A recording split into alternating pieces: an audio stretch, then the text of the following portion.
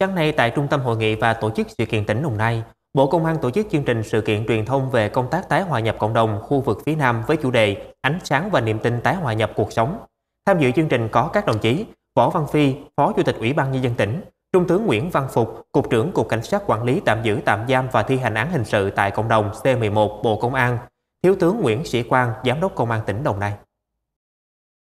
Phát biểu khai mạc, Trung tướng Nguyễn Văn Phục, Cục trưởng Cục C11 Bộ Công an nhấn mạnh, chương trình nhằm ghi nhận tôn vinh biểu dương về cách làm hay sáng tạo, gương cá nhân mô hình điển hình tiêu biểu trong công tác tái hòa nhập cộng đồng của 35 tỉnh thành khu vực phía Nam, từ tỉnh Quảng Bình trở vào.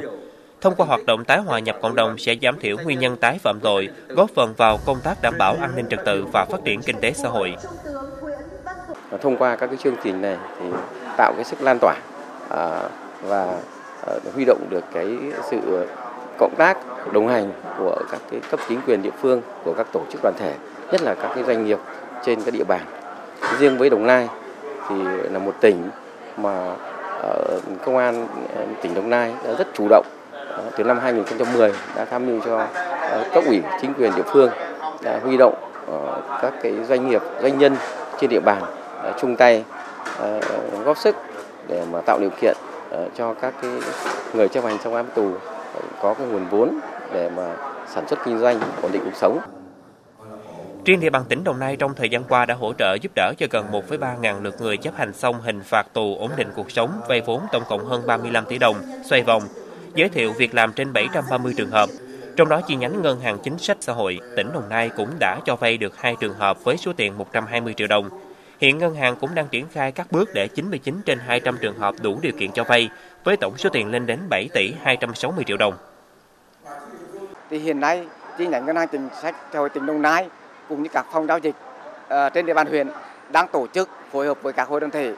nhận ủy thác và tổ tiết kiệm và vay vốn để hướng dẫn người dân uh, có nhu cầu đúng đối tượng làm thủ tục vay vốn thì làm sao mà cái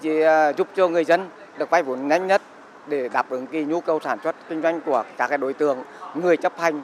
xong án phạt tù về địa phương tái hòa nhập cộng đồng và càng ngày càng à, phát triển kinh tế để à, giảm bớt cái tái phạm trên địa bàn tỉnh Đồng Nai.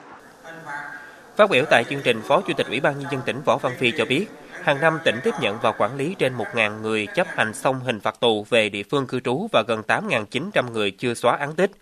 Do vậy, để hỗ trợ giúp đỡ người chấp hành xong hình phạt tù ổn định cuộc sống, tỉnh Đồng Nai đã tổ chức triển khai thực hiện nghiêm túc và có hiệu quả nhiều chương trình hoạt động về tái hòa nhập cộng đồng.